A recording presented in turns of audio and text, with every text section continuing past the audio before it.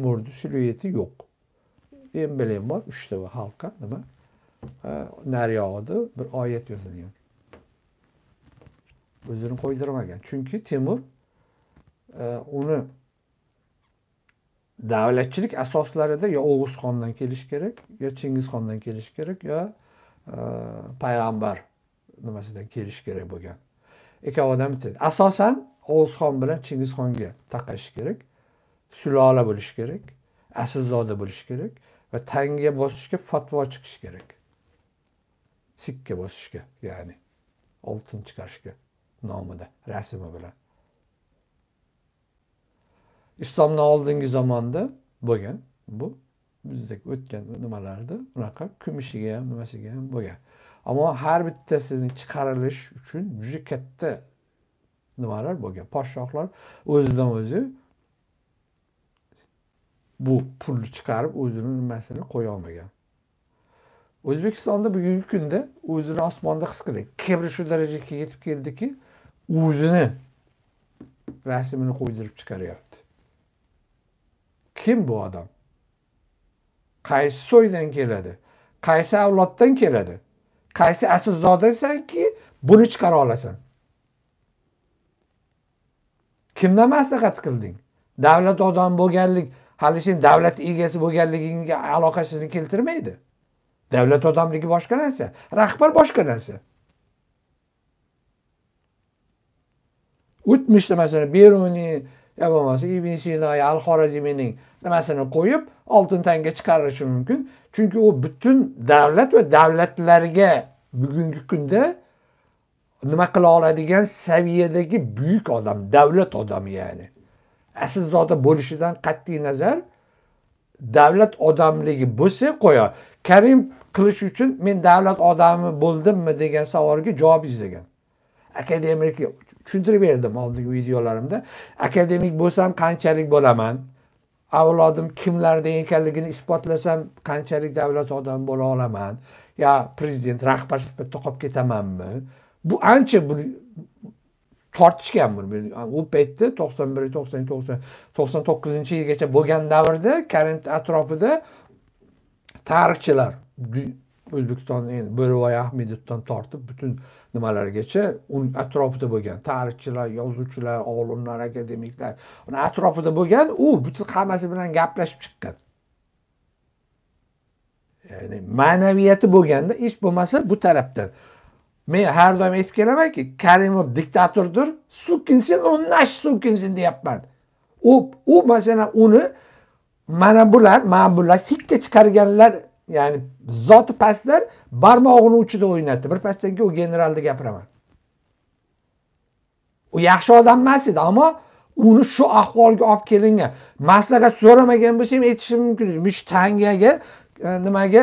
E, nima chekka chiqarmoqchiman oltin bostirmoqchiman. Meni portretim bo'lsa nima bo'ladi? Bo'lmasa nima bo'ladi hech bo'lmasa so'ragan. Bu odam so'radimi birovdan o'rtacha bir yilda o'n besh yigirma tonna oltinni bunga aylantirib chunki bu qanaqadir sovg'a qilish uchun o'zidan esdalik qolish uchun prezident bo'lgan shu paytlari shu zamonlarda deyilishi uchun oltin qoladida hammasini eritib ichib yeb yuborishmaydiku endi. Qoladida baribir tanga sifatida qayerdadir boylik sifatida. Ha qarab turib ha shu yuz yil oldin shu odam bo'lgan ekanda deb qo'yishlari uchun chiqardi desak uni tonlarcha chiqarilmaydi u narsa. Bu sovg'a sifatida muzeylarda turishi uchun muzeylarga davlatlarga sovg'a sifatida jo'natilishi uchun ming ikki ming uch ming dona chiqariladi.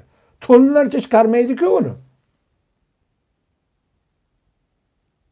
Tonlarcha chiqarish uchun yo asilzoda bo'lishi kerak yo davlat odami bo'lishi kerak. Davlat odamimi bo'ldi bu endi? Ma'naviyatsiz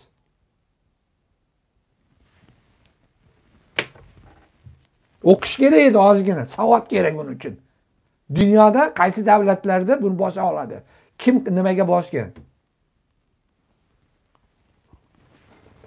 O'g'irlik uchun bosgan. Hozir dubayda turkiyada tonlarchasi bor buni.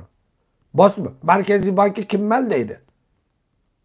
Endi donalab go'yoki donalaganday bo'ladi. Asosiy dona emas tonnasi hisoblangan. Olib borishadi chiqarishga hujjatga kiritishga sovg'a ya'ni dunyo oltin nazorat qiladigan sertifikatsiyasi bor buni borsadan ruxsat olishga. Ammo tanga bo'lsa sovg'ada bu endi bu. Bitta bitta taqadi uni nimasi yo'qda endi uni. Hisobot berish shartmi a yon bo'lsa shaklda uni o'zbekistonga olib chiqaman desa uni samolyotidan tortib olib boradigan joyi yo'q boshqasi yo'q shu xalqaro oltin nimasi bor ulardan mutaxassislar kelishi kerak ko'rish kerak boshqa qilish kerak shvetsariyaga olib kelishadi maxsus samolyotlar bor maxsus nimalari bor hammasi juda katta izini ertaga besh o'n yildan keyin ham topib yeyvarsa. xuddi men ikki ming o'n to'rtda shvetsariya rafinajida oltin o'g'irlanayotganligini isbot qilganimda isbot bo'ladida uni izini qoldirmaslik uchun bular mana shunaqa metodni o'ylab topdi. Chuchvarani xom sarabdi biz mutaxassislarimiz bu ish boshlangan paytdayoq dunyo oltin borsasiga amerika qo'shma shtatlariga yevropa ittifoqi markaziy bankasiga frankfurtdagi e, angliyadagi londondagi birjaga allaqachon buni bildirdi. O'zbekiston oltin soxtagarchilik qilayotganligi ustiga yana mirziyevning portretini nima qilib foydalanib prezidentlik nimasini qanaqadir mafyozlar qilyapti qanaqadir vazirlar qilmaymiz yaqinda ularni jinoiy ish ochdik ustidan deb bosib bosib qilolmaysan rahbar birinchi rahbar bu ishning ichiga kirgan. Oltin soxtagarchilik ichiga. Endi hammasi hisob kitobli ya'ni bekorga osmondan tushganday inqilob qilish kerak. Har qanaqa shaklda demayapmizda. Ya'ni bitta davlatga qarshi boshqa bir davlatdan turib bunaqa yoyin qilish buni xalqaro maydonda muhokama qilish shartlarini boshqalarini shvetsariyadan tortib butun amerikasigacha angliyasigacha yevropa ittifoqigacha buning shartlari muhokama qilindi. Inqilobning uning uchun isbot qilib berish kerak bu ishni o'zidan o'zi bitta ishlab turgan hukumatni nima o'yinchoqmi bu ishlar yo'q unaqa chunki isbotimiz bor mana mana bunga o'xshagan yuzlarcha masala bor u putinizmga xizmat qilishni endi aytmasa e, ham bo'ladi endi satanist putparast otashparastlarni endi bu masalani gapirdik juda nima masala endi aytmasa bo'lmaysizda chunki haddidan oshib ketyapti